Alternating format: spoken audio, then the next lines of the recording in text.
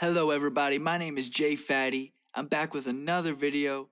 Today, I'm going to show you how you can get the drums out of a sample um, using this certain way.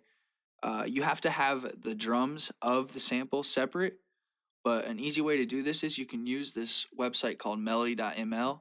You just get any MP3, just like any old song or whatever, any MP3, and then you uh, come to this website. You put in your email, and then you upload that MP3 and you can do either the vocals and just the instrumental, or you could do the vocals, drums, instrumental, and other, which would be like um, some other melodies or whatever, whatever it detects, because it's all like runs through like um, machine learning stuff like that. So you can use that, and that's how you can get your drums separate. Check it out. But what you can do is, as long as you have your sample, that is just your normal sample. I'll play this.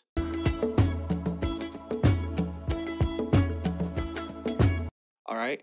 And then you have to have the drums separate. So here's the drums.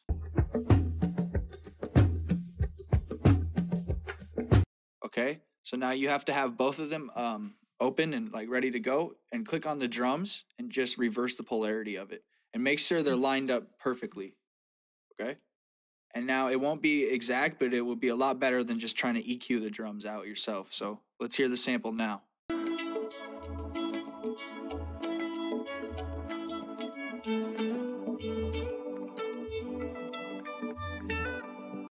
That's way better than just this.